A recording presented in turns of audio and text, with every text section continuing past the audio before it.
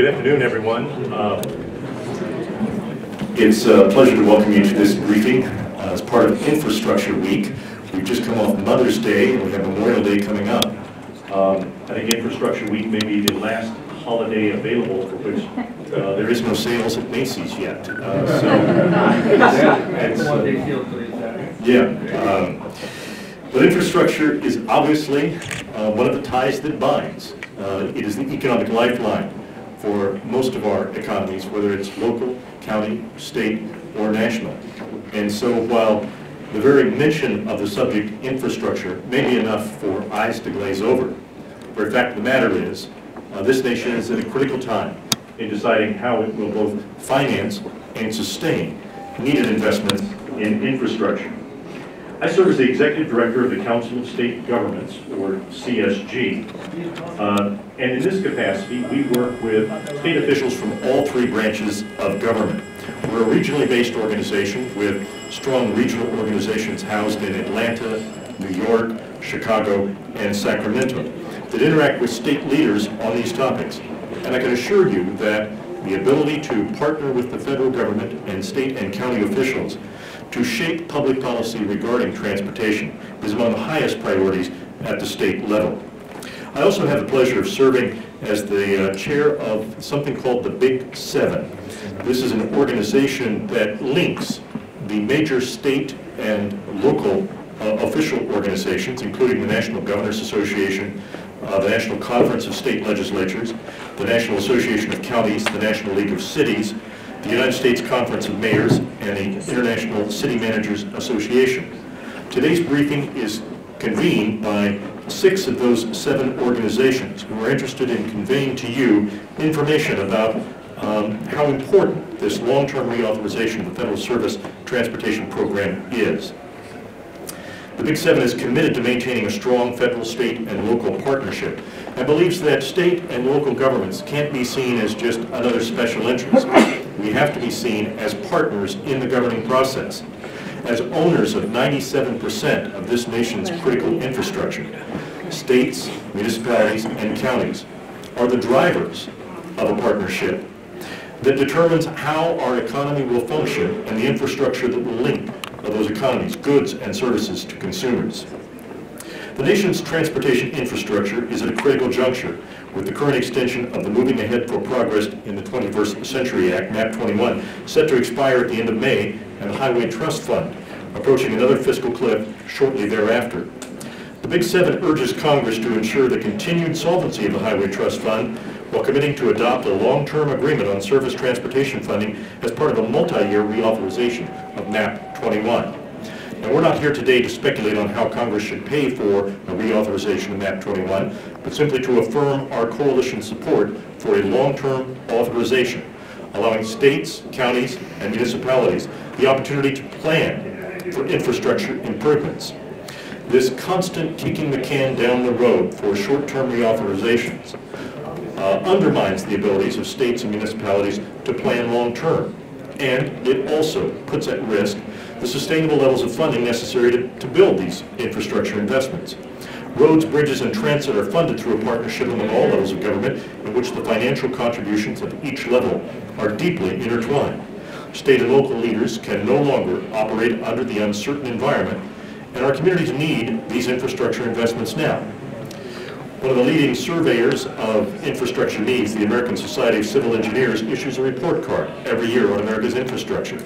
A comprehensive assessment of the nation's infrastructure across 16 different sectors results in a cumulative GPA for infrastructure of a D+. plus. Indeed, there are $3.6 trillion of total infrastructure investment needed by 2020 across all 16 of these sectors, leaving a funding shortfall of $1.6 trillion based on current funding levels. And we know that the federal government has had to patch the funds that are available in order to, to uh, maintain the solvency of the uh, Highway Trust Fund.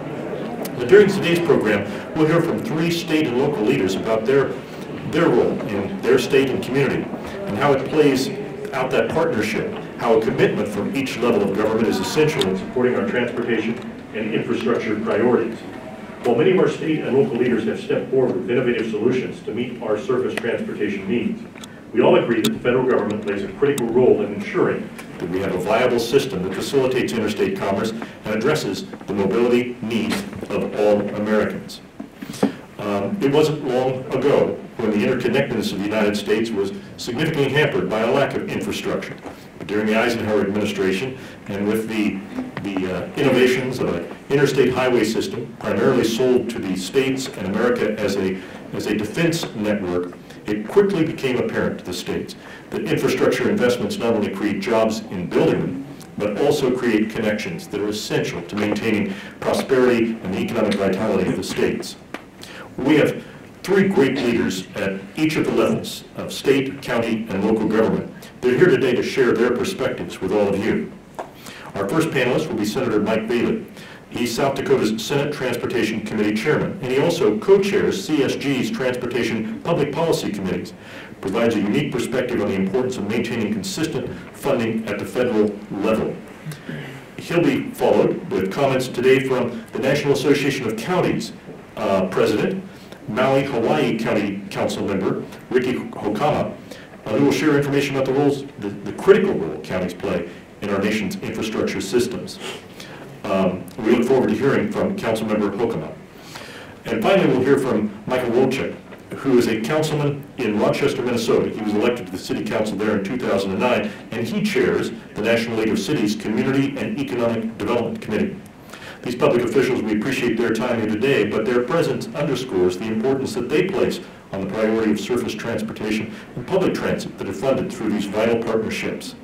So I'm going to turn it over first to uh, our Senate Chair, um, and to have him offer a few remarks. We'll just go down the line to hear from each of these individuals, and then we want to have an opportunity for a dialogue in which you'll have an opportunity to ask questions uh, and delve deeper into the perspectives that these uh, three individuals bring to the table today. So thank you all for being here, for your shared interest in this topic, for hearing from state, county, and local officials on this topic, and we'll turn it over now to the Senator.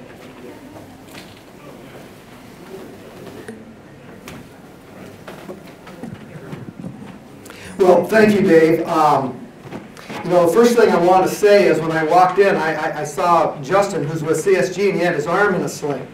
It reminded me that I went to the doctor the other day, and uh, I have a problem with the rotator cuff, and you see how they've all got to wear those slings?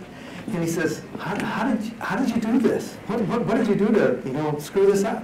I says, are you kidding? I just come from the legislative session. Three months, I just twisted my arm completely off. I'm going to talk about roads today. How many of you here uh, like roads with potholes in them and wobbly bridges? How many people like those?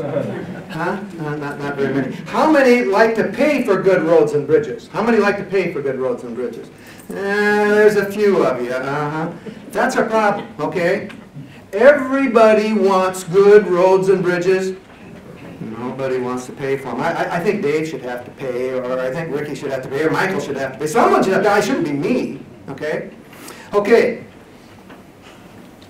As he said, I'm chair of the Senate Transportation Committee. I was fortunate this year. We passed a comprehensive bill, probably the most comprehensive bill uh, in the last 30 years. Uh, I was fortunate enough to be prime sponsor of that bill. Uh, I say now fortunate, uh, going through the session, it was not. It was the first bill introduced, Senate Bill 1, and except for the budget bill, which has got to go last, it was the last bill considered at 6 o'clock the night that we adjourned, okay? So people say, well, did you really talk about this? Uh, Was it did- was it out there to be discussed? Yeah, it was.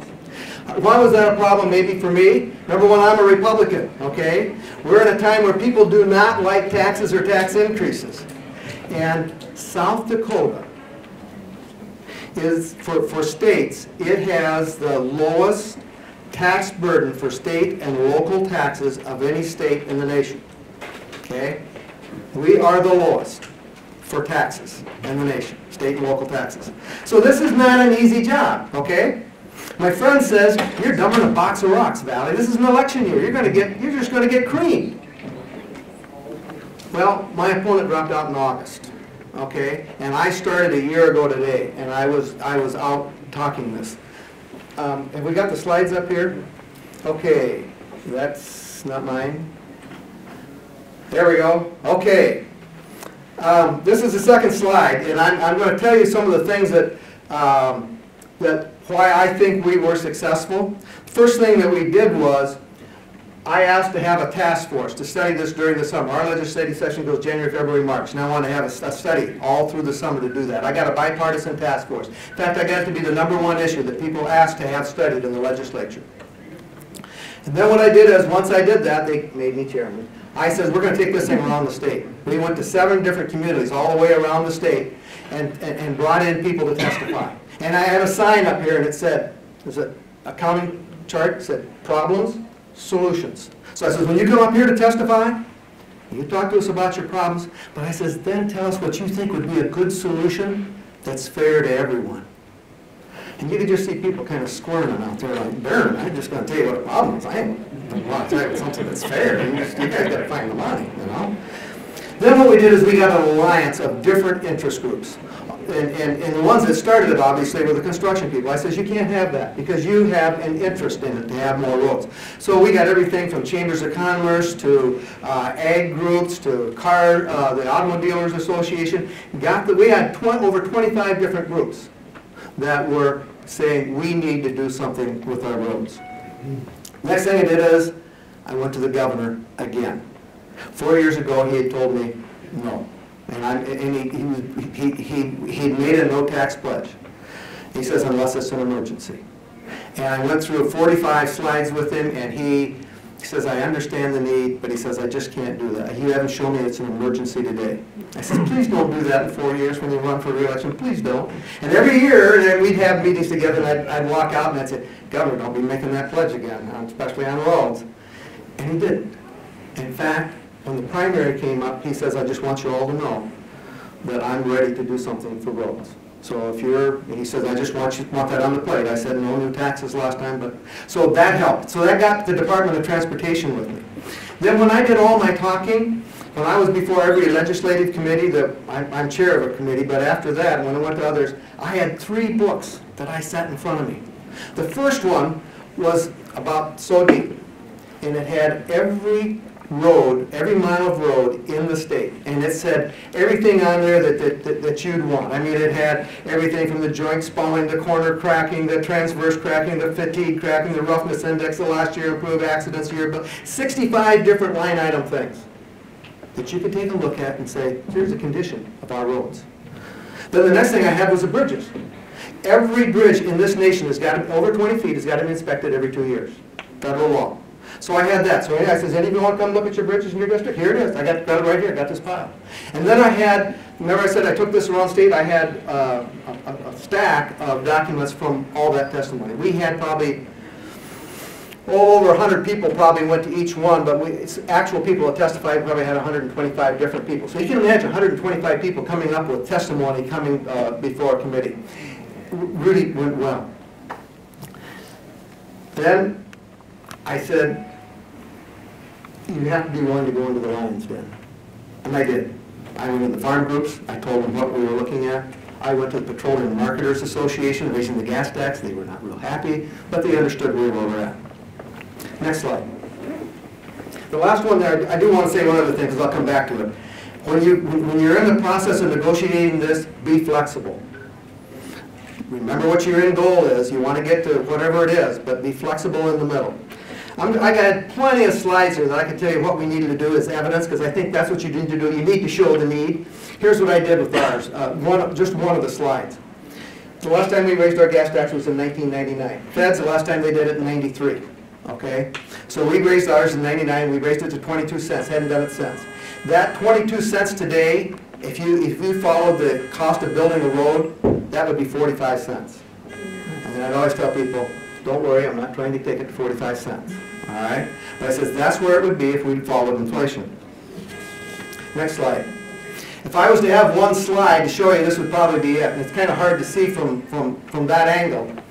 But this is one of the things you're up against. Right now in our state, only 2% of the roads are in poor condition. Our state roads, not our county and township, 2%. And what's in fair is only 9%. That's pretty good. In fact, that's excellent. That's terrific. So I said to the Department of Transportation, what's that going to be in 10 years at the same federal funding and the same state funding? We go from 2% poor to 25% poor, and we go from 9% fair to 27%. So we go from 11% poor and fair to over fifty percent of our roads. I says, we have fifty-five billion dollars worth of commerce that goes on our road each year. Our number one and two industries are agriculture and tourism. What do they do with poor roads? No one's gonna come visit, and we are gonna get our corn, beans, and wheat out of here. Next slide. But you have to present the need and you have to say, where are we going?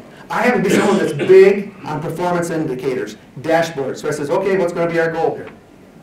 So we sat down with the Department of Transportation, we worked out something. We came up with something that was, it's kind of hard to read from here, but it looks like it's five percent poor and fifteen percent fair, about fifty percent good and thirty-some percent excellent. That's a condition that is in worse shape than what our roads are today. So I said, we aren't looking to, to, to to get them even as good as we are today. But in ten years, that's where we need to be. And then in the law, what we did is, I made it mandatory that the Department of Transportation had to come before each transportation committee each year and say, here's where we are today, and here's where you're gonna be in ten years, and here's where your goal was. And if we weren't there, how much is it gonna cost? Then it's up to the legislature to decide, what do they want to do? So it was goal-oriented, we had a goal, we established the need, then we set a goal, and we said, how much is this gonna cost us? Well, we all looked at that and went, oh, boy. So that's what we did, we divided it out. Did we get everything we wanted? No, no, we didn't. Um, But we at least got to start, and now, every year, because I'm going to be termed out, every year, they're going to have to come up and say, here's where we're at, and here's it's going to be. Now, the press is going to be there, and they can all say, well, we decided to do nothing. All right, but at least we know, it doesn't come up and clip you on the back of the head like a hammer, okay? And that's kind of what happened to us this time. All right, let's go to the locals. I don't know if you can see that top bridge up there. Bridge, let- let's face it, roads and bridges aren't sexy. You don't have any heartstrings that I can go and pull on that heartstring and say, you know, if you don't give me this money, the more people are gonna die from cancer or AIDS or whatever. There's no heartstrings out there, okay? Here's one. That, that bridge up there, the last vehicle over that bridge was a school bus.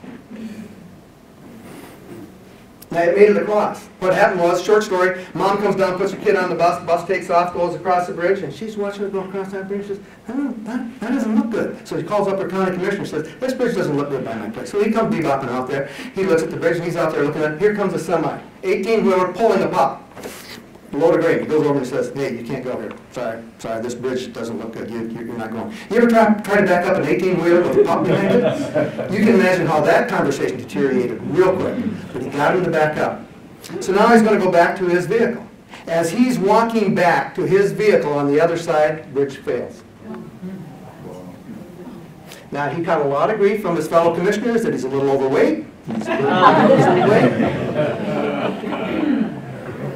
But that's the only one that I have. And I have used that picture just about in every presentation I've made, because that's the only heartstrings one I've got for, for transportation. And you can look at the other slides, you know, there's a, I I look at that, and my, my uh, comment on that one was, uh, he called home and he says, Houston, we have a problem.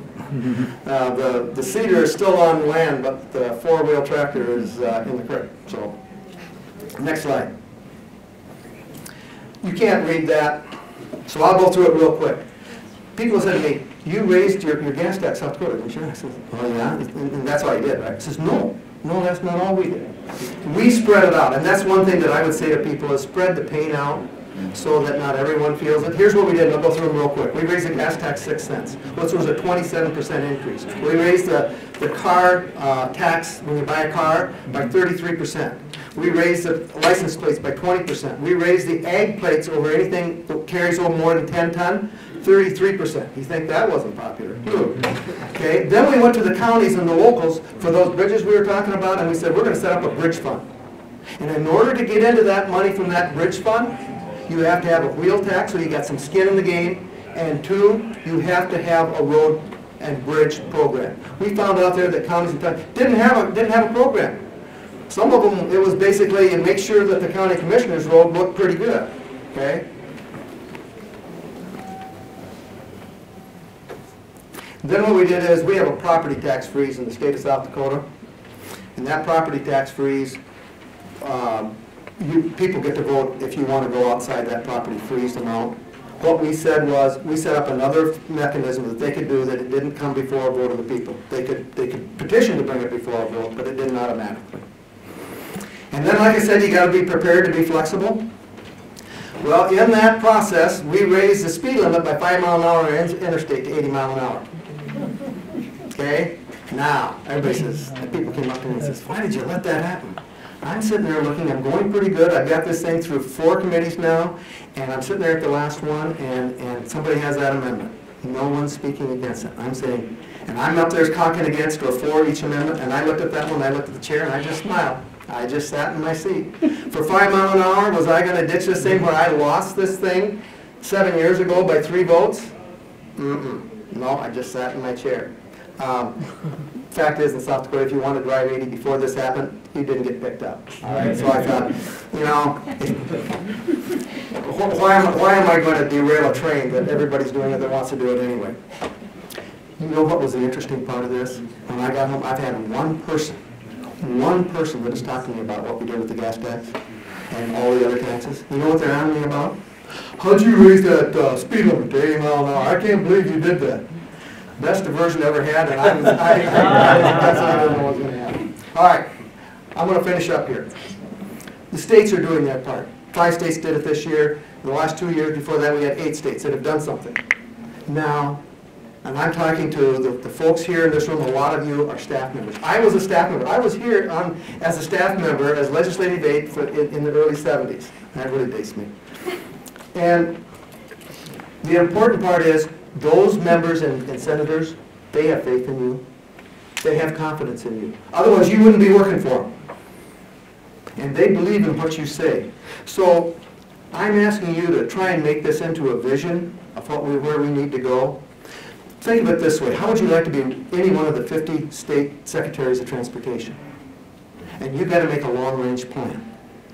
And you don't know, when you put out these contracts, you get put out these bids to build bridges and roads, you don't know in the next four months if your 80% partner is going to be there or not. How would you like to let out those bids? Because see, we, the states pay for that, and then we send a bill to the federal government for their 80% share. We front the money. How would you like to be doing that every, every cycle? Well, in four months, do you think, uh, think they're gonna you know, extend this again or, or not? What do you, what do you think? That's a tough duty for all our states. So I'm, I'm saying somehow we gotta muster up the intestinal fortitude to take this on. And it's not an election issue. If you tell and show the need like we did in South Dakota, like I said, the guy who's running against me, he dropped out in August. And I've been headlining every paper, Vehle trying to raise the gas tax again. And then I have, I, I, one, one other comment. How much do you think you're paying, uh, gas taxes per household? How many, how, what do people think? Hundred, some people say a thousand, two thousand. The average household pays forty-six dollars in gas tax per month. The Electricity and gas, the average is hundred and sixty, cell phones hundred and sixty, and cable and internet are hundred and twenty-four. Where are our priorities? Okay, and that's why I'm gonna finish with, this is a slide that I finished every one of my presentations. Next slide. If you got it, a road brought it. There's not much parachuted in. Thank you.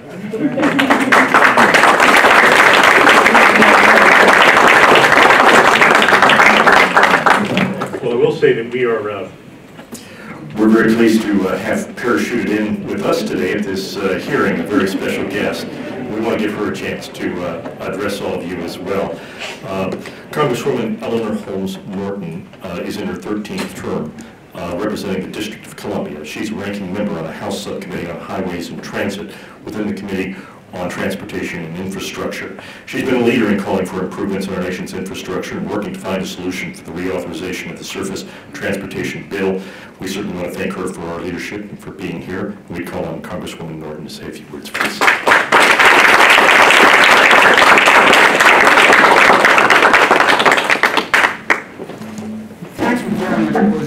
I'm I'm glad I I came during part of the state presentation, uh, because um, that's where the hurt is, and frankly, that's where the detail is. Uh, And here in the Congress, I have to be absolutely candid, is where the detail is not. So I'm going to be making a very special plea. I'm not going to talk about progress, because it's been done. I'm going to talk about amping up the extraordinary things you've been doing so that maybe we can get some progress. I very much appreciate the League of Cities, the Big Seven, uh, all of you for yeoman work. But we really got to take into account what the Congress has become. And even, frankly, emergencies don't get acted upon unless somebody ramps it up. I mean, we were down to the last minute, and the Homeland Security appropriation had been saved, uh, trying to, to force something on immigration out of the administration. Everybody knew that the administration was going run. So what got the Homeland Security appropriation, this is the security of the United States passed, and we just ran out of time, and, you know, they, they couldn't go on any longer. So even an emergency won't do it, so I'm really trying to put in context what we're dealing with here, but I, I must say at the same time that our committee is very bipartisan. Uh, Chairman Shuster, uh, uh, Ranking Member DeFazio is the ranking member of the full committee, uh, are working closely together. So this is uh, a leadership call, really. Uh, And it's a call on the money. Our, our, our, I almost said Bill, our, our subcommittee and our committee don't have to do with uh, the money, but, you know, that has never been something I must tell you, and I've been on this committee ever since I've been in Congress, that we even worried about. We had to worry about reauthorizing the bill, and they knew to come up with the money. Of course, that money was a whole lot easier to come up with because it was the Highway Trust Fund. Um, I just come off the floor, um, but, because I am trying my best to, to amp it up here, uh, so-called one minute, and, and I think we passed out what I used as a poster. Um, I went to uh, one of our main bridges yesterday, and the press was with me, and a major story appeared this morning in the Washington Post. And Norton used this bridge to make a point. Now, the interesting thing is I wasn't making a point uh, necessarily about the bridge. There were plenty of points to be made about the bridge. Actually, the concrete bridge is not as bad off as some other bridges. I was making a point, uh, the point I tried to make on the House floor, about how failure to overhaul this bridge meant that billions of dollars in economic development could not proceed in the District of Columbia. Uh, for example, in order to make room for high-speed rail. That doesn't have to do with, the surface transportation bill. But they've got to dig a whole new kind of Union Station uh, to do that. Um, above Union Station, just to get to how the, the economic development ramps up, is to be a whole new community over the tracks. Nobody can think of dates and money and funding about how to proceed as long as that bridge, which will take five years uh, to finish, is held up. So one thing I urge you to do is to link roads and bridges to other economic development. Uh, believe me, everybody here, except those on our committee, see a road and bridge they go over every day. It's still up, isn't it? Structurally deficient, deficient, so what? It's still running. This is a place that does not want to spend money, that believes uh, that you can build roads and bridges without spending money. So I, I really want to, to indicate that the ordinary kind of lobbying and, and uh, calling the alarm simply has not worked. We are exactly where we were last July in the last reauthorization. Somebody needs to tell you all the truth, exactly where we are. No new thinking, no new pressure, no feeling of alarm in this House. There's some greater sense that we ought to be moving in the Senate. Uh, not enough there either. So one of the things we're doing, I want to talk about this project, which I made into a poster. Again, in order to put a face on infrastructure, you know, those are just words that don't make it out there to, to Molly and Joe. You know, we've got to make it mean something. And so the face I put on it was a major bridge over which, I mean, if you live in the nation's capital, you go over that bridge, you go, over- go over on the way to major roads, all of the inner city buses from all over the United States come in there, our streetcars gonna come up there. Um, to, to kind of drive home others to help me drive this house. We also, uh, I've asked the members of my subcommittee to go down uh, each day with a poster that we have had drawn up, saying the number of days, legislative days. You know, today it says six days. Know, that'll be crossed out, and tomorrow it'll say five days uh, the expiration of the surface transportation program. Now, the reason we're doing silly little things like this is because without that kind of constant pressure on, on this house, nothing even remotely uh, begins to get done. So when people really want to get something done, they get a group around them to rally the members, so it becomes visible back home. You might think roads and bridges are visible, they are invisible in this house because nobody here feels that anybody back home thinks that it, it- matters that much. This is not a house that wants to do a lot of legislation anyway uh, even the most bipartisan legislation you could have, and I must tell you, nothing could be more bipartisan than what we're working on now. Look at the construction season. What construction season? Uh, it's so gone that, for example, many of the unions say we ought to just let it go until July and press for a, um, a, a long-term bill. Because they could not start a major project like the one I just talked about now anyway. They've got to have some certainty that if you're going to start on a five-year project, we're talking major economic development projects, that's what people want to do. Uh, You're just not going to start it unless you're irresponsible on a, even a one-year reauthorization.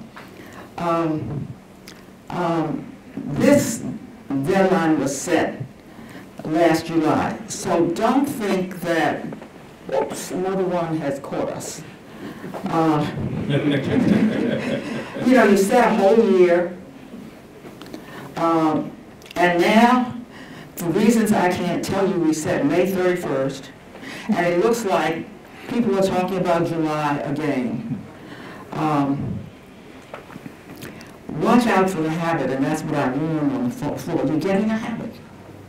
And as long as the Congress believes that this habit satisfies the immediate need, they are going to give you six-month patches. Um, For all of your own work, the Big Seven, in keeping this front and, and, and, and center, we just welcome your counsel in thinking about ways to amp up uh, the pressure. Because I cannot tell you, well, I'll tell you, we've got people in committee, I got Helena here, she will tell you. It's a very bipartisan committee. We don't have people in committee talking about, well, suppose we did this, or, or suppose we did that. Uh, we weren't even able, for example, I don't know where I would stand on VMT, so one of the things I would like to have seen in the last reauthorization is a pilot audit. And besides, there's some states doing it. I'm going to put in a bill, or I'm going to try to get in the bill at least, to have the states uh, somehow uh, um, work together to, to, to make the Congress understand what it means, because there are different states and there are different versions of it. But do you think the Congress, without any sense of what to do, would want to take advantage of at least something that, that is being done? Uh, no raw thinking, no thinking even so far outside the box that it couldn't happen, even that would help, because it gets you back to something that perhaps could be done. Um, Understand that we're talking about a reauthorization bill that already doesn't give a fair share to the states and localities. You're asking for crumbs. If you get anything, it's going to be level funding. So if here I'm begging for help just to get that, I think it says something about the crisis we're in. Um, If there is no certainty, what people have to know back home is that there are no roads and bridges. And they really have to know it's not just the road you go over every day, but they have to be in touch with what other economic development is not, is not happening. And I asked my staff to find out about this growing movement. I'm so grateful for it. I think you've heard just one example of it, to raise the gas tax. Um, Just because people, the states are so desperate that, that that they just need some money and they're just recovering from the recession. So if they need some, they just dig into what they've got.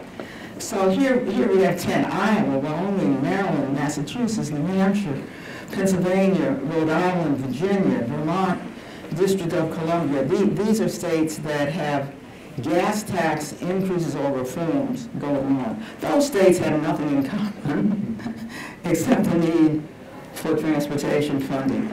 States that are making progress uh, in this direction, six of them, Georgia, Mich- Michigan, North Carolina, South Dakota, Utah, Washington State, again, the usual mix of states. Then there are states that are considering changes. Idaho, Kentucky, Missouri, Nebraska, New Jersey, South Carolina, Vermont. There are some up here who say, well, you know, let's, let- let's let this go on. Then it will have to devolve to the states. Well, that's not what's happening. The states still want our share to come to them. They're not saying we'll take over transportation funding. Uh, so we don't think anybody is seriously considering that, but there are members here who are for devolution, and I really do thank those who came to testify before one of our committees. Uh, They were governors, state DOTs, people from cities, regional councils, they were, they were red and blue, and every last one of them poo-pooed the whole notion of devolution, so there can be no doubt that that is not a serious uh, uh, issue here. Uh, The president is, must be concerned because of the Grow America Act with the fact that we're now ranked 25th in the world in infrastructure quality. That's very bad. Everybody is catching up. Transportation has been a key to the growth of our economy. That has been lost up here because money is what you don't want to get into. The ranking member, uh, DeFazio, has, has asked uh, uh, Chairman Ryan for a joint hearing of our committee and Ways and Means. And Mr. Ryan has not said yes, but he's, the earliest he would even consider it is June. Notice that's after May 31st. Uh, Not that we could get a, a, a- a tax bill through in this time anyway, but you would think there would be somebody roaring, uh, uh, uh, uh, roaring to try to get us to, to the finish line. So I, I tell you what I'm gonna do, besides the, the several things I'm doing, I'm having a roundtable with every member, I've asked members to bring, uh, if you, if you don't have a picture, like the picture that I was able to get in the Washington Post, I've asked each member for opening remarks to make a, to, use one project in, in, in his or her district, which is, is stalled because of no funding here. Again, we're trying to make it real rather than something called surface transportation infrastructure, trying to bring it down to the level where members will have to pay attention to it. I am um, introducing, uh, at the request of the administration, the Grow America Act. Uh, That, of course, is for much more than we could ever get. But we do have to have a marker out there. I think that's a bill we all, we all would support for $78 million. And of course, it takes advantage of the untaxed foreign earnings. So my closing message to you is, uh, if, as the rumor is, and by the way, we don't, don't think because we're members of Congress, we know what's going to happen. If we were in the, if we were in the majority, we wouldn't be able to tell you any more than I'm telling you now. Because there is no daylight between the majority and the minority on this bill. So we need your most creative thinking and your most creative work back home. Uh, because uh, July is, is almost certain. Would you like another July? Remember where we're going. We're going into 2016. Uh, someone wonders uh, what will happen if this goes over into another presidential year where a whole lot of us will make a lot of hay with it. Meanwhile, the projects will be stalled. Help us. Help! Thank you very much.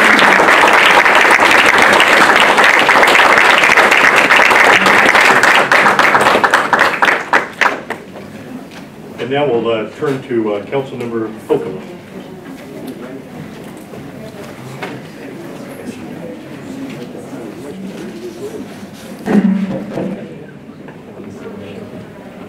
Aloha. Aloha. My name is Hokama, and I'm from Maui County, Hawaii, and I have the pleasure, Thank you, David. And I have the pleasure of uh, serving as the president of the National Association of Counties. So today I have 3,069 county stories to tell you. But, uh, and Congressman, thank you for being here. We appreciate your presence. By the numbers, counties own 45% of the nation's roads, 40% of the nation's bridges, 30% of the nation's transit systems and airports. Counties also own a wide variety of public infrastructure assets.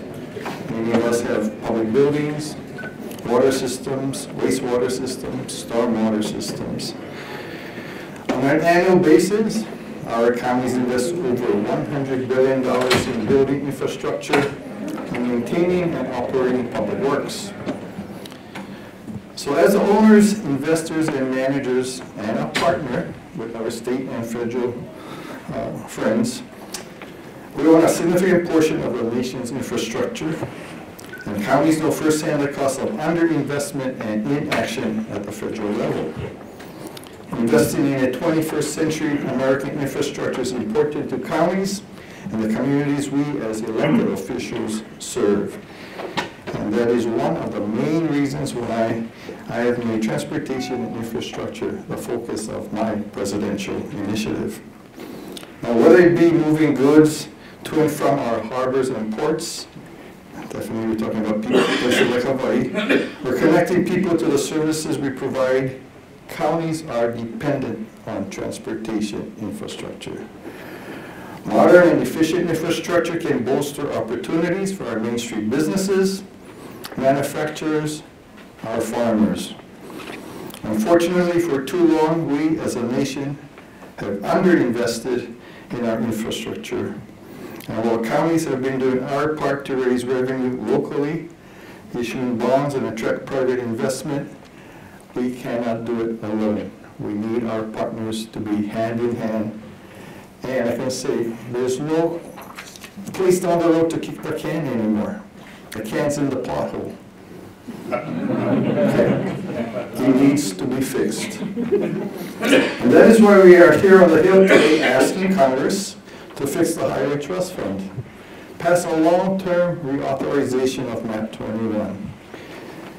We all know that the cost of construction is increasing at a rate that exceeds inflation. And counties cannot afford, states cannot afford, cities cannot afford, the American public can afford for Congress to keep waiting. In addition to local, state, and federal funding, county utilizes the municipal bonds to deliver critical transportation infrastructure projects. For over a century, the tax exemption of municipal bond interest has provided counties, state, and other local governments with a low-cost, again I say, low-cost financing mechanism to invest in our counties, or excuse me, our country's infrastructure. Our research shows that from 2003 to 2013, that investment in infrastructure amounted to approximately 4.2 trillion dollars. Trillion dollars through long-term tax-exempt municipal bonds.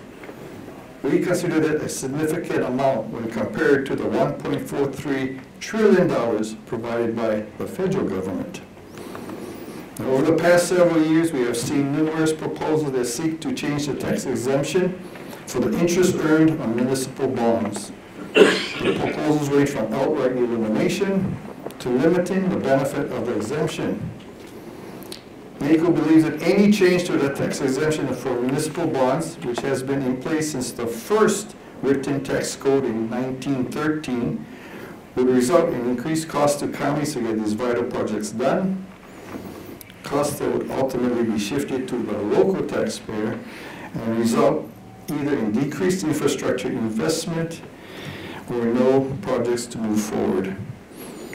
That is why we continue to ask Congress as our partner to please protect the tax exemption for municipal bond interests. Thank you very much for your attention.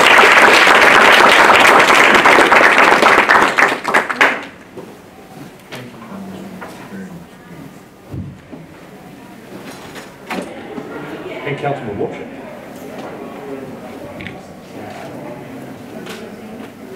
Thank you.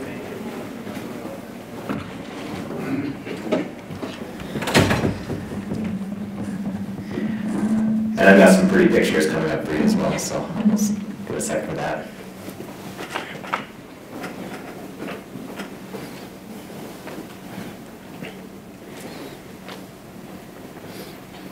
Maybe a separate file. Yeah, I can be available. My, my name is Michael Wojcik. I'm a city councilman in Rochester, Minnesota. And um, is a very interesting place. We, um, we, we, we take our um, civic involvement very seriously there. And um, what you're hearing here is transportation is an issue that really um, merges a lot of interest because it's so vital to everything that we do as a community.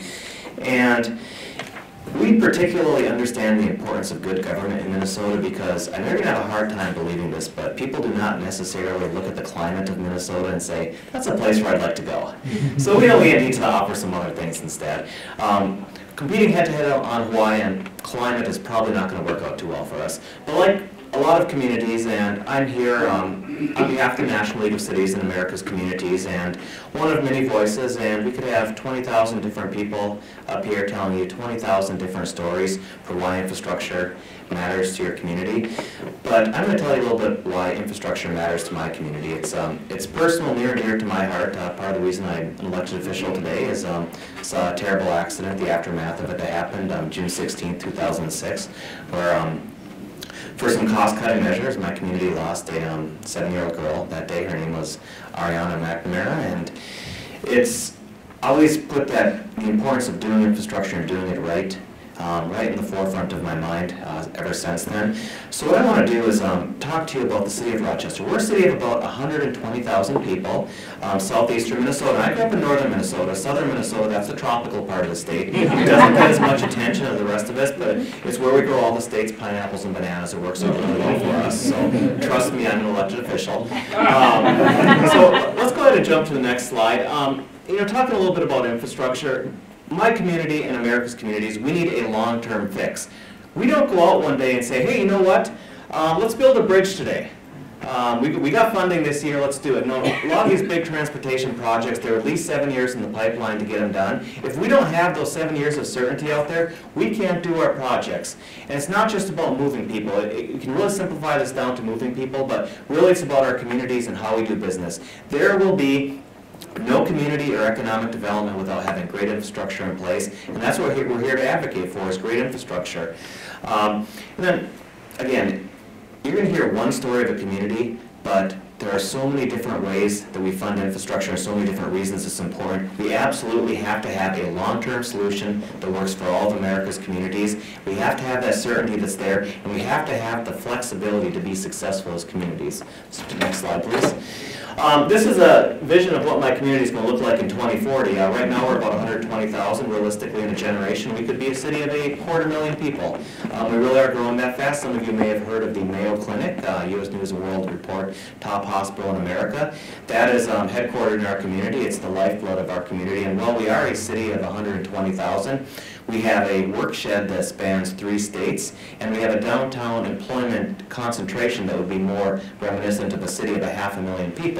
With that comes great challenges. We got a lot of people coming to our um, community, and just like you got here today, you use public infrastructure to get here.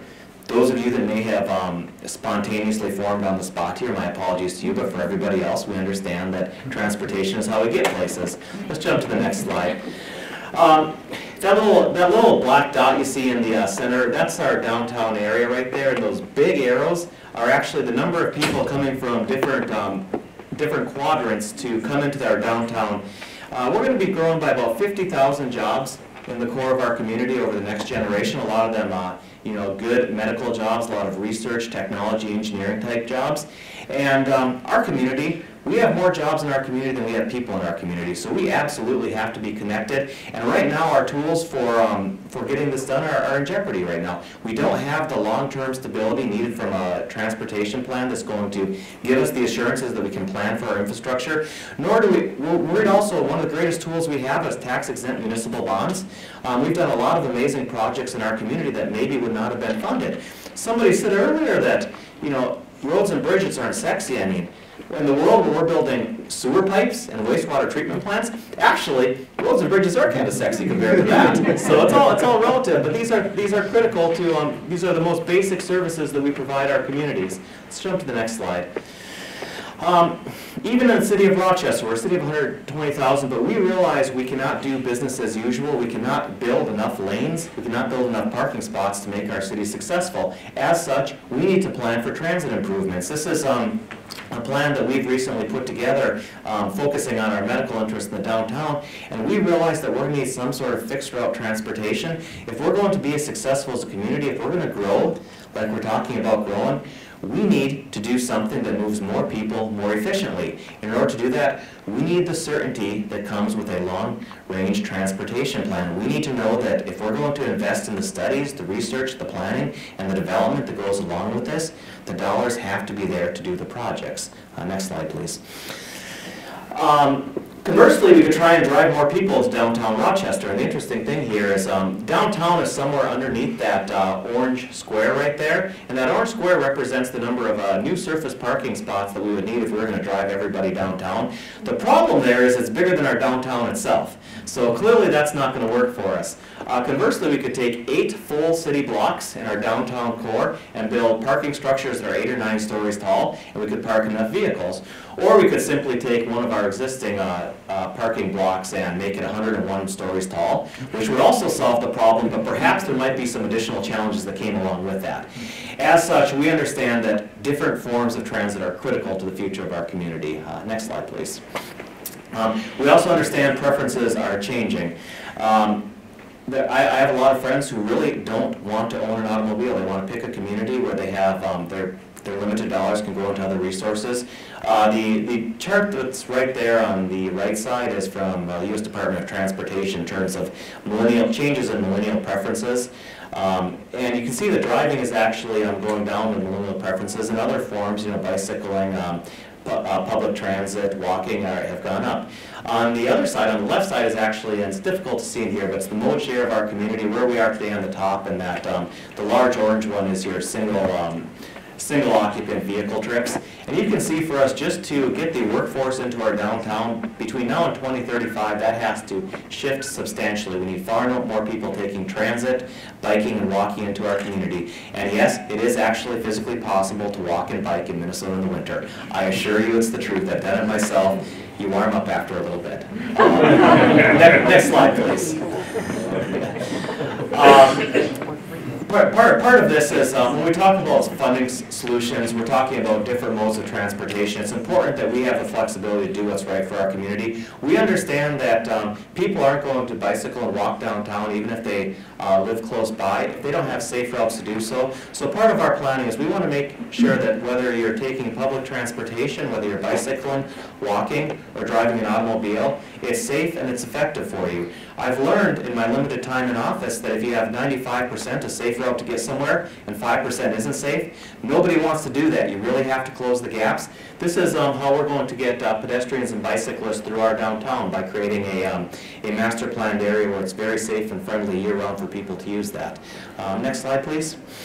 Um, that's, that's what I want to tell you a little bit about Rochester, but to emphasize this, without communities having the ability to do planning, we're not saving anybody money by not investing in transportation. We're actually costing communities a lot of money, we're costing them opportunities, we're costing them great jobs. If we don't have the stability and um, knowledge that the dollars are gonna be there when we need to do the projects, we're going to lose out on a lot of economic development. So, you know, on behalf of America's communities, and everyone is different, we're asking again for a long-term solution that gives us some level of certainty and protect our abilities to do great things.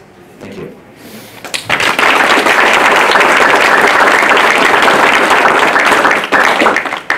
Well, we want to uh, make a turn and give you all the opportunity to ask questions or engage in this dialogue. I know we have some senior staffers that uh, deal with infrastructure needs all the time here in the Congress, and we certainly would encourage them to offer their expertise in responding to questions or in uh, illuminating the uh, discussion we've had so far. But I promised our panelists that I'd give them a first take at uh, reflecting on what others had said during the course of the discussion, if there was anything they wanted to do to, uh, to reiterate a point that was made by someone else or underscore uh, the direction of the dialogue um, in what they heard here today.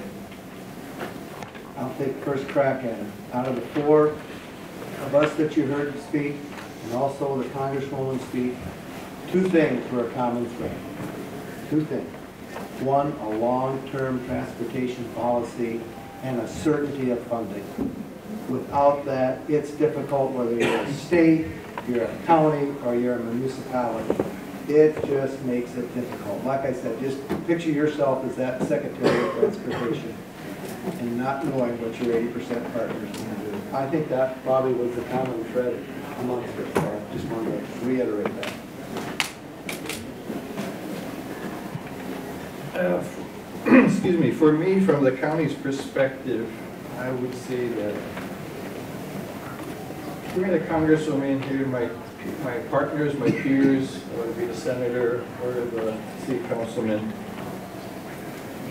the sense of urgency, I think we all, we all get it. I think the question is, for me, is why isn't Congress getting that sense of urgency? Americans feel it on a day-to-day basis. Without fixing the road, they feel it in their pocketbooks because it takes more to maintain their vehicle. Whether it be simple repairs, flat tires, or they need to buy more gas because it's a longer route to go around the short route that this route happens. So for me, that's what I'm getting out of this conversation is, why can't we convince Congress that our sense of urgency is real and it needs to be acted upon now? Thank you. I, I took heart the comments that uh, um, Congresswoman Norton said as well, that we need to have this communication back and forth, and I think that every member of Congress could go back to their district and talk with community leaders within their district and actually physically go see a location where the transportation bill is going to have an effect. This is not something that certain parts of the country will benefit and not others. That's why you have such diverse support for this. But what you really need to do is understand where those projects are, what they mean to the community, and realize that whatever we're talking about, the challenges that we face, there's going to be a lot more positive that comes out from those ribbon cuttings for the spectacular new things that are coming in your communities. And I think the message has to be from us too, is that, you know, we, we have your back on this. You know, every community in America is struggling from these issues, and we really need some certain solutions done. Well, uh, are there questions, comments? Um, Anything else uh, that you might want to add to the conversation? Um, Thank you, the panelists. I'm actually here in DC for Transportation Week. My name is Josh Byrnes, and I'm the uh, chair of the uh, Transportation Committee in the Iowa House, so I'm a legislator from Iowa. Um, We heard the congressman talk about, we did pass a fuel tax in Iowa, 10 cent fuel tax this session. Um, I'm a Republican, that's never popular. Um, But I will tell you that I don't know who my audience is here, I don't know who you're representing today, um, but I will tell you that it needs to be done. And we have to quit worrying about elections. We have to quit worrying about getting reelected and doing certain things just because we're worried about, are we gonna be back in that position again? I mean, if you're doing a good job, voters are gonna put you back. Um, I've been an advocate for increasing the fuel tax for the last three years. It's taken me that long to get the fuel tax done in Iowa. It took three years. And my last campaign, this last November, um, I won with sixty-two percent of the vote. My constituents knew where I stood on that. And that's what they wanted. And I think most Americans do. And I think that, you know, as I'm on here this week listening to people and talking to people, the level of frustration with the inability to get things done out here, I mean, quite frankly, it's embarrassing. And, and I just think that, you know, hopefully you can take those messages back to the people that you represent and say, you know what? Americans are frustrated. Infrastructure is a key component to economic development in this country. Um, I come from an agricultural area. I, I have places where we're selling farmland for nineteen thousand dollars an acre. And it's important that we get that crop out of the field to market. And one thing that separates us from Brazil, and that's our competition right now, their infrastructure is horrible, but they're building it faster than we are. And I hate for us to someday look back on that and say, you know what? We should have been building our infrastructure because we let Brazil surpass us because they're getting their crops out. They're getting things done. I, I just think as the greatest nation in the world, why would we ignore our infrastructure? I, I just think it needs to be a top priority and, and hopefully you can take that message back to your folks. Thank you.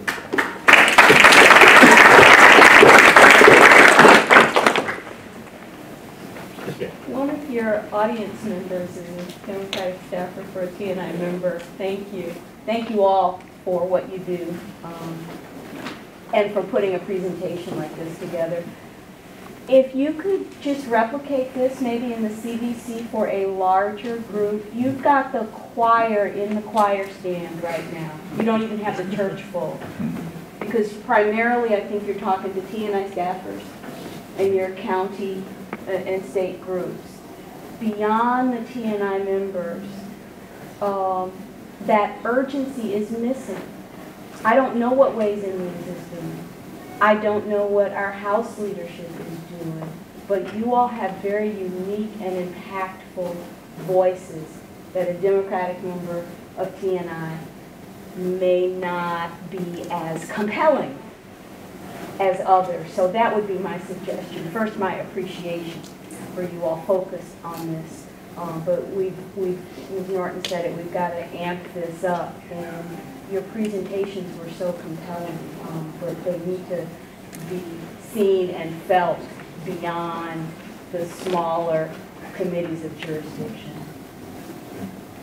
Thank you, appreciate that. Other comments, questions?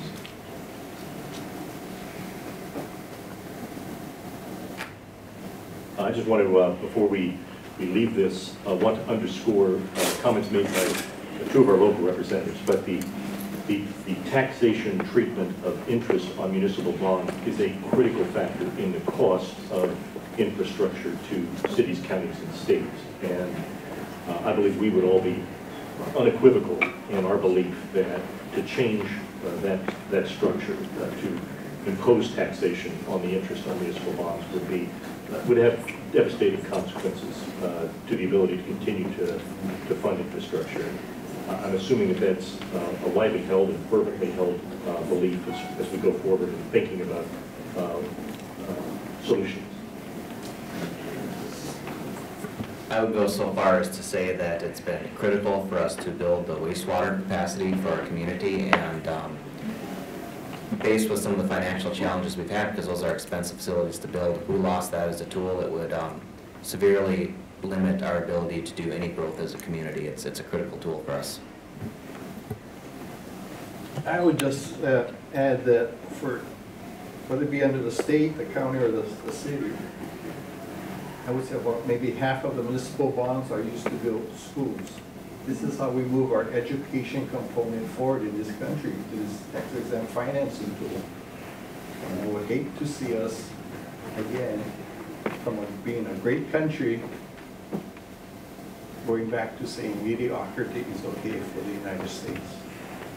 We are a global leader, we're a world leader, our education should be superior. No great country has bad infrastructure. President Eisenhower had a brilliant foresight when he became the president of creating the interstate system. There's the reasons for it, it's for domestic, uh, national defense, it's for food security, it's for all the reasons that make us great as a country. And it's about time we reinvest in ourselves, the American people. Thank you. Yes. One more, one more thing, you know, you all talk about improvements and expansion of wastewater most of us in this room will have systems, both water and wastewater sewer systems that are 50, 60, 70 years or older. In DC, I know it's like 100 years old. And so municipal bonds, without that, you're not even talking expansion, you're not even talking growth, you're just talking survival. And nobody talks about that because transportation is a big issue now. But let me tell you, without water and without a proper sewer system, transportation not gonna equi- equity very much. So I'm just saying that, you know, that municipal bond system we use now is very pivotal to continue our survival as municipalities.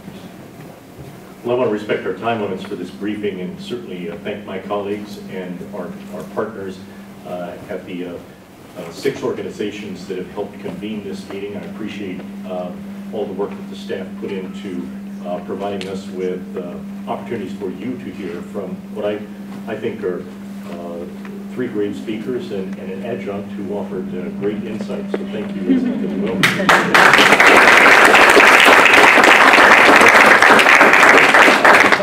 I want to uh, give each of our panelists an opportunity to respond to uh, just a final word of advice. Um, At the local and state level, there's a necessity to govern. The budget has to be passed, budget has to be balanced, um, the um, the bonds have to be issued, and plans have to be laid out. Most states look at a 10-year highway plan. Municipalities are looking at uh, master plans that that look far into the future. It's that kind of visioning that allows state and local officials to plan their priorities, to develop the resources, and to fund those priorities. When you have a big partner who, who can't get their act together, it obviously makes governing very difficult. Uh, Senator, you've talked about some of the commonalities and the themes we've heard today, but uh, if you were the pharmacist offering your prescription pad to Congress, uh, what's necessary for states and municipalities to continue to govern and meet their obligations to the same citizens served by uh, the Congress of the United States? Um, What's the wake-up call that needs to be had? You know, I would have thought there would have been several wake-up calls out there. Um, But obviously, the alarm isn't very loud. Uh, And I don't, you know, I- the other day I was making one of my presentations, I said, I don't want you to think I'm far out radical. I mean, this is infrastructure. Um, The Romans knew that centuries ago, okay? What did, what did they do? They built roads, okay? You, you gotta do that to have commerce. And, but you got, we gotta look at this, I was in business all my life, all right? I always had a three, five, and either a seven or 10-year plan. Now, it changed every year, but at least I had a plan, I knew ahead of, of where, where we're going. Our states are trying to do the same thing. But we, he talked about, Riki talked about the urgency of this. It is urgent. How, how, how do these 50 state secretaries make a plan when you don't know in four months whether, in fact, just this last week, U.S. Secretary Foxx sent out a letter to all the secretaries of transportation and said, after May 31, we cannot send you any more money. So whatever you, whatever you don't get here for bills by the May 31st, we aren't paying. See, and we, and we got all those contractors out there building them roads and bridges, and we're writing them out checks, and then we, we said, and they're say, sorry. So now, how would you like to be on that end and start doing five-year plan, seven-year plan? That's what we've come down to. And, and infrastructure is, is vital. That's, that's one of the things we learned a long time ago. If, if you were responsible for the road next to your property and the road next to your, pro- you'd probably have a, a, a, a nice uh, oil road, you might have a cement road, you might have a gravel road, and I might have a dirt road, rut road, okay? How is that gonna lend to a system of transportation? It's not, it's not we need to have a system. Little old South Dakota, fifty-five billion, billion dollars worth of goods and services go in and out of that state yearly on road, no parachute. So if I was to say what we, I, I really want to know what you want us to do, because we're out there doing our thing, but we need your partnership. And it's, it's, it's getting difficult. Um, I, I- had that question asked a lot when I was pushing this through our body. Well, do you think the feds are gonna do anything? I says, well, we gotta do something here, because with, even without them, we've gotta do something. So we've gotta act, and we did.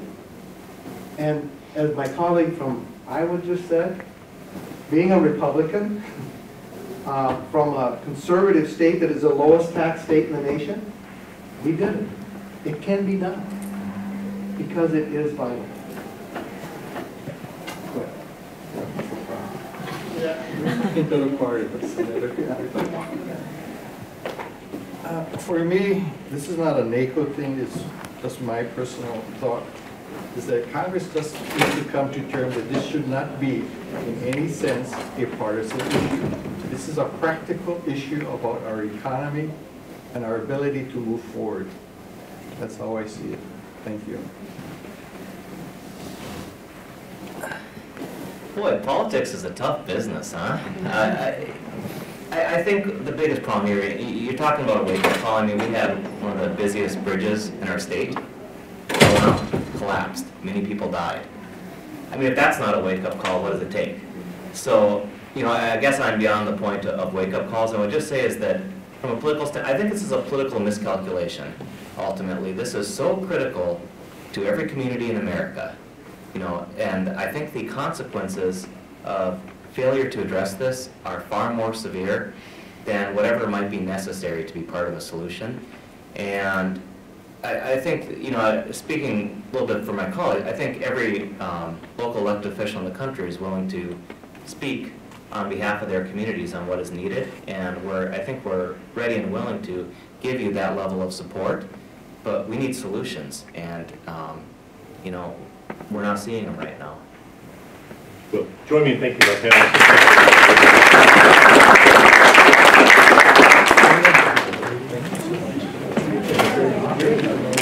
Infrastructure Week could not be more appropriately timed with the current extension of MAP 21 set to expire at the end of this month.